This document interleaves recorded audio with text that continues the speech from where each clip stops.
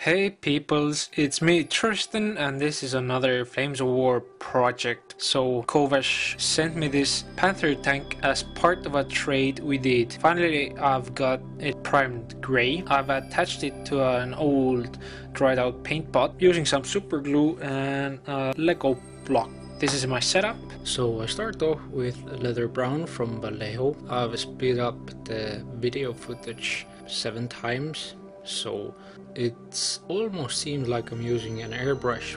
I'm keeping the paint fairly wet so it would go into all of the crevices and just give a general cover of the whole model.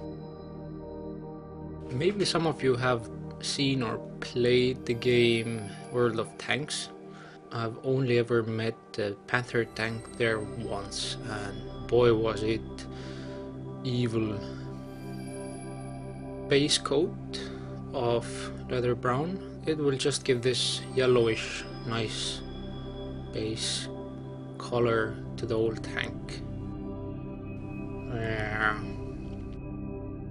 I, I have yet to play a game of Flames of War but now I'm hoping to get a game in after I've finished this one just to get some try out some rules. I go to the university, right, and I study film or more animation. So I spent the past week sitting and drawing my movie that I'm making and probably will be doing the same thing for the next at least two months, I guess. Hopefully faster, but hey, I don't mind. As you might have guessed, I'm doing a, a classical animation, drawn animation.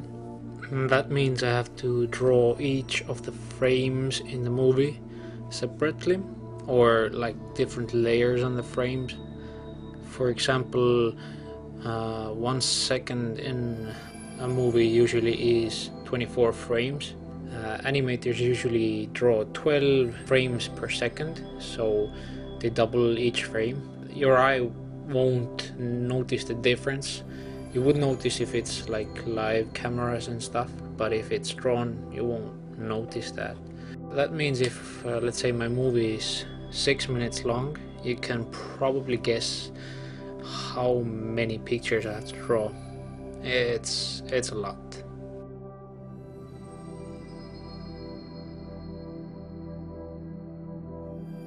And now I'm giving the whole model a full coat of the Coat d'arms, cut, Coat d'arms, Coat d'arms super wash. I found out that these coat, coated arms super wash paints are really really good and once they dry out they leave this really natural nice thin coat. And I'm so impressed by it that I have already ordered all of their different uh, tones for the super wash I'd say they're even a bit better than the legendary Games Workshop washes like Badab Black and stuff like that. So next up is Heavy Gray or the gray color. And I applied fairly liberally just giving those little waves. And I really don't mind if it if it's a bit wet and goes into all of the crevices and stuff like that I don't I don't mind because afterwards we're gonna give it some more of the super wash. And when we go to the main hull of the tank it's the same thing just as you can see I first draw the outlines of the wave and then paint the insides of it. This way I found out that it's way easier. And because afterwards we'll be weathering uh, I'll be weathering the tank also. So it really doesn't bother me if it goes into the engine grills or something like that. Drone animation.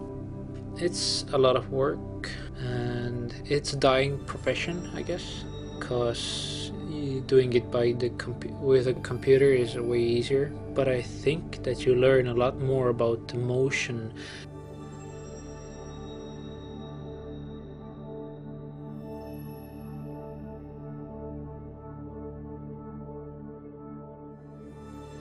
next up bestial brown or Beasty Brown. This is uh, a bit darker and a bit more of a red or orange toned brown compared to the yellowish leather brown. So this is just to give this darker tone to the tank. Actually you can't see it that well through the washed leather brown but but it works also doing the same wave actions.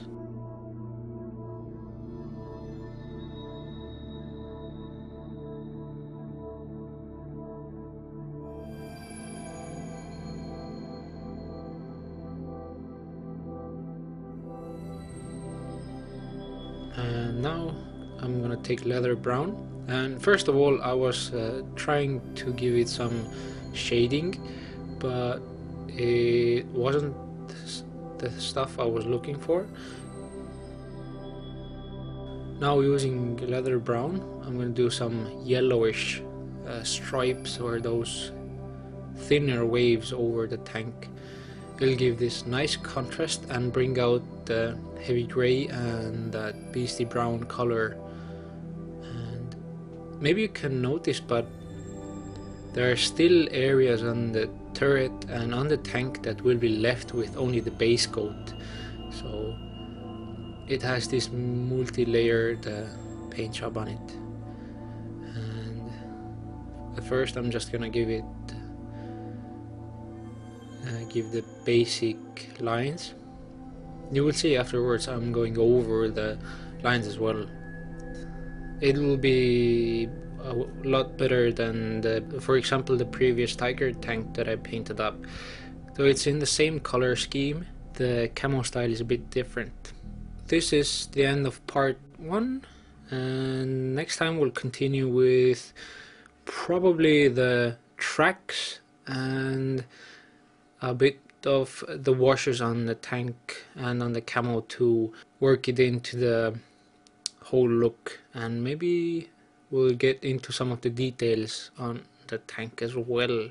So thank you for watching, keep it safe and I'll talk to you next time.